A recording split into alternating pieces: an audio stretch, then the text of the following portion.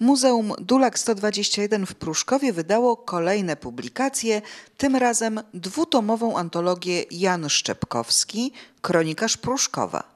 Wspomnienia, artykuły, felietony. Autorem wyboru tekstów do antologii był Maciej Benisz, kustosz Muzeum Dulak 121, redaktor działu Pruskowiana. Myślę, że każdy, kto się zajmuje historią Pruszkowa, e, w pewnym momencie trafia na postać e, Jana Szczepkowskiego.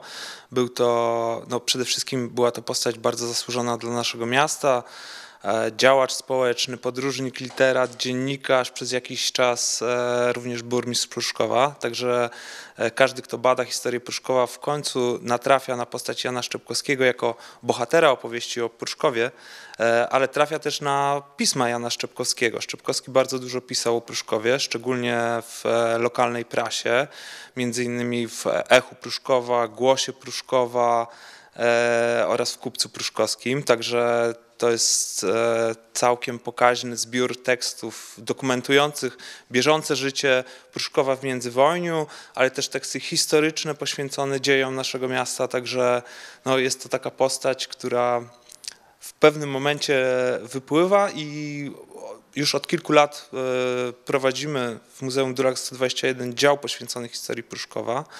E, wydaliśmy kilka lat temu tom poświęcony I wojnie, gdzie też się znalazły e, teksty Jana Szczepkowskiego. I w końcu stwierdziliśmy, że warto wydać byłoby po prostu takie pisma zebrane Jana Szczepkowskiego, żeby przypomnieć jego pisarstwo, jego postać przede wszystkim. Jan Szczepkowski w jednym z tekstów nazwał sam siebie kronikarzem pruszkowskim. W Pruszkowie mieszkał w latach 1906-1963 i w tym czasie był świadkiem i uczestnikiem najważniejszych wydarzeń w jego dwudziestowiecznej historii.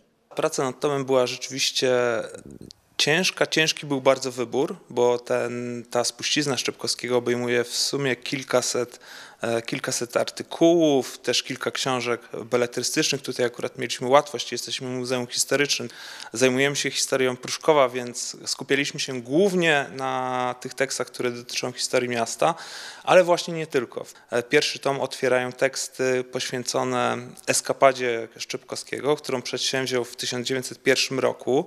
Wybrał się wtedy w pieszą e, wyprawę z Odessy do Warszawy śladami bohaterów trylogii Henryka Sienkiewicza. Większość pierwszego tomu i drugiego również to już są teksty stricte związane z historią, e, z historią Pruszkowa.